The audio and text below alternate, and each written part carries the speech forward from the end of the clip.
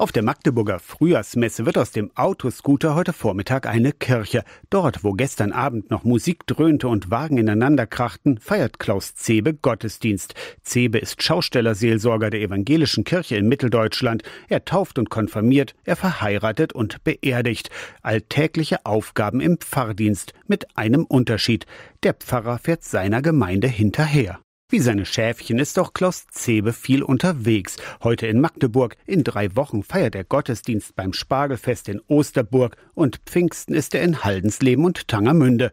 Was er braucht, hat er im Gepäck. Talar, Gitarre, Lautsprecherbox, Mikrofon. Bei der Taufe habe ich noch einen Taufkoffer. Bei einer Geschäftseinweihung habe ich eben die Utensilien dann für so eine Geschäftseinweihung, für einen normalen Gottesdienst eben Altar, Kreuz, Kerzen, eine Tischdecke, ein Antipendium. Deswegen bin ich eigentlich immer mit so einem Grundequipment dann auch unterwegs. Der Autoscooter ist ideal für den Gottesdienst. Von oben bleibt man trocken, die Seiten sind offen und in den kleinen Fahrzeugen können es sich die Gäste einigermaßen bequem machen. Als Schaustellerseelsorger ist Klaus Zebe Pfarrer und Küster in einer Person. Kreuz und Kerzen auf den Biertisch, schon ist es ein Altar.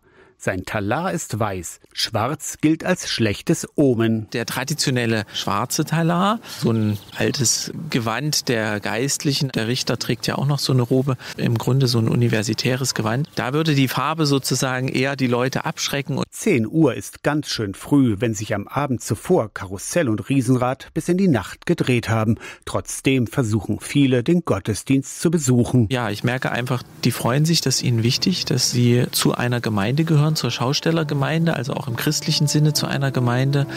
Ähm, Frömmigkeit, Christsein spielt da eine große Rolle und dass sie einen Pfarrer, eine Pfarrerin haben, die sich um ihre Belange kümmert, sich für sie interessiert, das ist ihnen unheimlich wichtig. Gleich um 10 ist Schaustellergottesdienst mit Zirkus- und Schausteller-Seelsorger Klaus Zebe auf dem Autoscooter auf der Messe in Magdeburg. Aus der Kirchenredaktion Torsten Kessler.